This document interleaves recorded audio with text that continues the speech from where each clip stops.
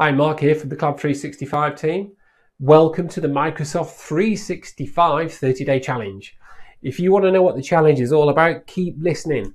But before that, I need to talk about somebody that's actually going to be doing the challenge. And his name is Connor Deasey. And the reason we hired him, because he started for us a couple of weeks ago, and the reason we hired him is because I put a, paste, a post out onto Facebook saying, can somebody give me some advice on the best lighting to create a studio like I'm in now? This is actually a small room I'm in. And Connor gave me the best advice to get the lighting as best as I can because it's really hard to do lighting in a small space. And so we hired him to come along and help us do with videos and help us do the audio and help produce conferences that we all know that we do. And however, when he started with this, I can already see the potential in Connor. He's got some really, really uh, great knowledge around anything technical. He picks things up really, really easily.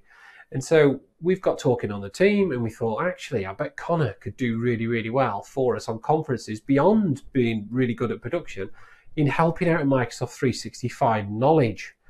Now, obviously, we need on the team, we need Microsoft 365 knowledge for everything because everything we do is based around that particular uh, topic. And so what we've done is we thought, well, instead of just giving popping Connor on a training course or asking him to read a book, what we thought we'd do is actually share his journey. And the way we're doing it is we've got this 30 day challenge where Connor every single day is going to turn up and he's either going to share a blog post of what he did the previous day or he's going to create a short video if it makes more sense for him to do that. Or it might be that we jump on a call with him and then we just record the call. And so the way we're going to do it, just to make learning more structured, Connor knows nothing about Microsoft 365 on day no, day nothing.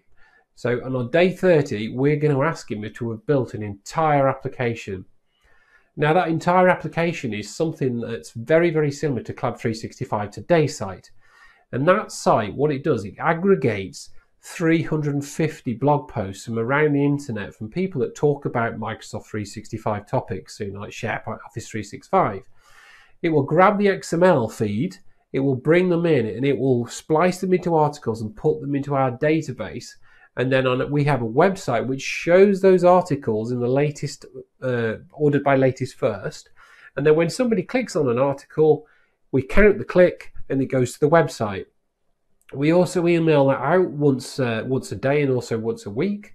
And so what we've asked Connor to do is we've kind of thought, well, that's all proprietary in WordPress and it's all code that's like hosted on our servers. We've challenged Connor to see if he can come up with a solution to build exactly that and actually a few more features on top inside of Microsoft 365. So this is going to see Connor learning Microsoft Forms. He's going to learn SharePoint, specifically SharePoint lists and SharePoint web parts and SharePoint pages. He's going to have to learn Power Automate. He's going to have to learn Power Apps. He's going to have to learn uh, Power BI. And so he's going to have to learn a whole range of, of technologies. And at the end of the 30 days, he's by no means going to be an expert. And I equate it to something like driving a car. Connor, right now, on day zero, can't drive a car. So, what we're going to try and do for each of the services is get Connor in that car, be able to steer, be able to put his foot down on the accelerator, be able to brake, be able to indicate. And then once you can do that, you get the confidence, and I'm sure you'll all agree, you get the confidence. I can drive a car, so actually, I'm happy. So uh, what I'm going to do now is I'm going to change the water in the car because I understand everything about the car because I've got comfort. I'm off and running. I can I can self-serve myself. So we're going to try to get Connor able to drive the car in each of these little products and bring them all together in a giant application. So just to talk a little bit more about the end product, in Microsoft Forms, we're going to get him to create a form that allows a staff member to request a new feed to be added to our RSS aggregator in Power Apps, we're going to ask him to create an application so you can pull out your phone and look at the latest articles that the aggregators brought in. And when I click on an article on my phone, it adds uh, one to a counter so I can then see another view on my phone, which is actually these are the most popular articles in my organization. In, on top of that, he's going to need to know Microsoft, uh, sorry, Power Automate. Keep making that mistake. He's going to need to know Power Automate quite in depth because the Power Automate is the bit that's going to go off to the website that looks at the list, it'll go off to the website, grab the XML, bring it back, loop round it, and put it into another SharePoint list. He's, Power Automate is also going to have to have another flow, which every week, once once a week, wakes up, gets the most popular articles out of the SharePoint list based on who clicked, and then turn them into a nice looking email to send out to a distribution list of people that are using it in Teams.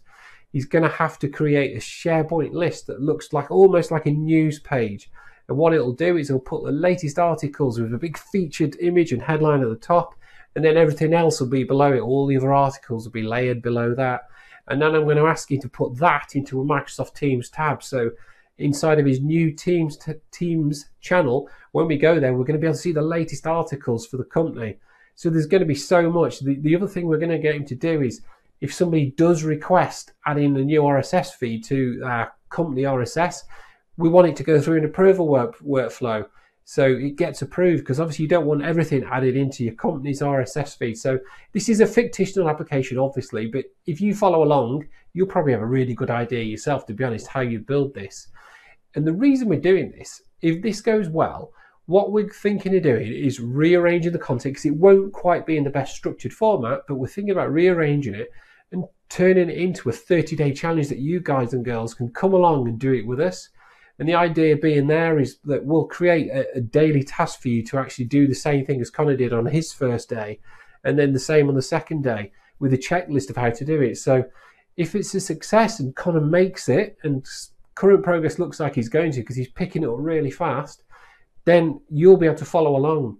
And the way that Connor is learning, and this is also key for us, and another reason for us doing it, the way Connor is learning is we've got tons of content now. We've done loads of summits. We've got a blog blog posts hundreds of articles. We've got loads of videos. And we want to know if our content's actually good enough to train somebody from complete newbie to Microsoft 365. And if it isn't, we're going to get some content created. Or we're going to go off to microjobs. And I already know, for example, as a whole, we don't have any introductory training for a SharePoint list and introductory for SharePoint per se at all that's up to date with the modern experience. So we're going to ask Connor to go over to microjobs and we're going to say, Connor, here's some budget, go and hire a freelancer and share the journey of how what the, what you've learned from that person and then share how you use microjobs as well because we're really interested as a company how Connor, who knows nothing about microjobs either, how he uses that service and feeds back. And Fraser's going to be watching him like a hawk so we can learn as much as possible about microjobs. So it's fantastic experience for us as a company, and I really do hope it's really, really good story and a great journey for you to follow along with Connor.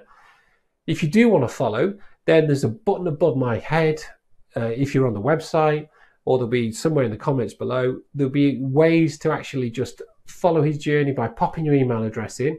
And then when Connor's got a good amount of uh, content for him to share, it might be the first seven days, for example, he'll send you a link out to those seven days. But if you want to keep popping back every day, we've got this beautiful looking timeline that's going to get bigger with all what Connor's doing on his journey. So get involved, and then if you do see Connor online, he's a little bit nervous. I'm not going to lie, he's a little bit nervous because we've asked him to do quite a complicated thing within 30 days. So give him some support, give him some likes, if he, and he'll appreciate it forever. So really hope you find this challenge useful and keep your ears peeled because if this goes well, we'll be asking you to come along and do it in the future. That's all from me and bye.